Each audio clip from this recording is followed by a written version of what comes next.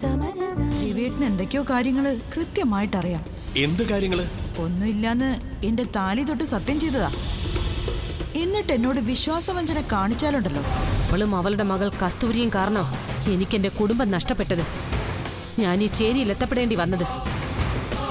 ആ അമ്മയോടും മകളോടും ഞാൻ പൊറുക്കില്ല. കസ്തൂരിയുടെ അവളുടെ അമ്മയുടെ നാശം കണ്ടിട്ടേ ഞാൻ വിശ്രമിക്കൂ. വേണ്ടി വന്ന രണ്ടിനെയും കൊല്ലാനും മടിക്കില്ല ഞാൻ. ക്ഷേത്രത്തിൽ പോകാനുള്ള കാരണം ഒരു നുണ കൊണ്ട് മറയ്ക്കാൻ ശ്രമിക്കുന്നെങ്കിൽ അതിലെന്തോ ഉണ്ട് അല്ലേ?